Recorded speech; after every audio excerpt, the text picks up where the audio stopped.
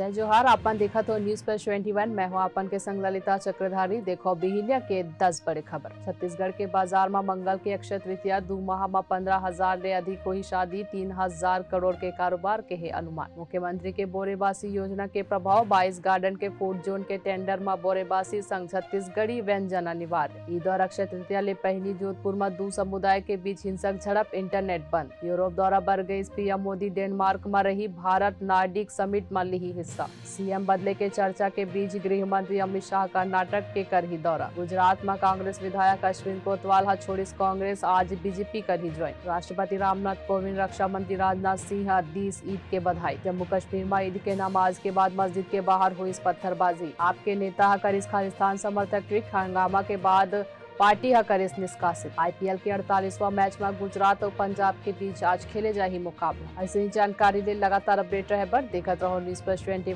आप मन के हक के बाद